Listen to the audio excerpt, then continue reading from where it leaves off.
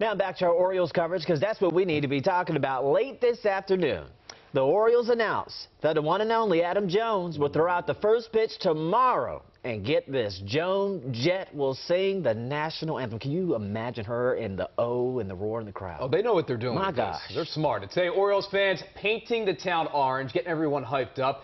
Janae Reese has more on the excitement sweeping the town today. Fans are excited and ready to cheer on the Orioles this weekend here at Camden Yards as they get ready for the first game of the postseason. And I got to tell you, they're ready to uh, welcome the show. Let's go! Let's go! Oh! There we go. there. Peyton Moses says it's a dream come true to see the Orioles make it to the postseason.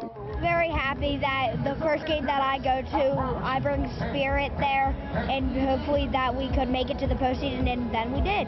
We are so excited. This is his first time around seeing them make it to the postseason, so we are both very excited. They were among the sea of orange in downtown Baltimore as the community came together for a postseason rally to cheer on the Orioles ahead of Game 1 of the American League Division Series. Came here to play for the Orioles a long time ago. Oriole Hall of Famer Al Bumbry took the stage alongside the Bird, Mr. Splash, and Mayor Brandon Scott as they usher in game day. The Orioles are here, and we are so proud of this team, and we're going to show the Texas Rangers that everything is bigger in Texas, including these losses that they're about to get. All game day talk aside, fans say they are simply happy to see the community come together and the Orioles play right here at home. I'm excited it made it all the way.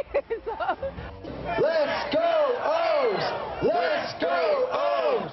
Fans say they're ready to keep all of that excitement going for the entire weekend. And you can learn everything you need to know about the weekend's game over on our website, WJZ.com.